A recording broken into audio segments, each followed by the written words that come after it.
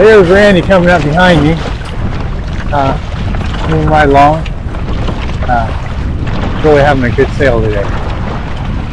One of the best of the trip.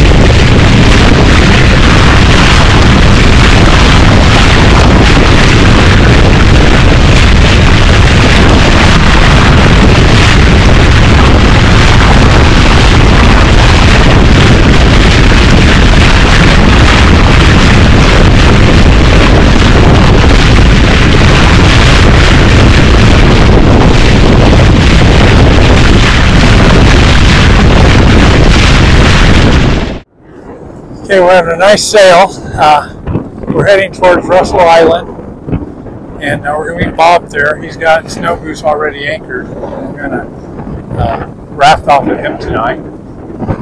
Having a really nice sail. It's like the perfect wind for these Montgomery 17s. Probably blowing, I don't know, maybe 10 to 15 out of the east southeast.